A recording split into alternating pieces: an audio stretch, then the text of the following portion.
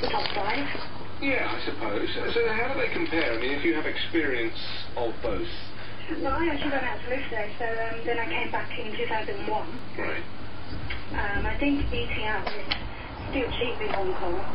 Come back to London.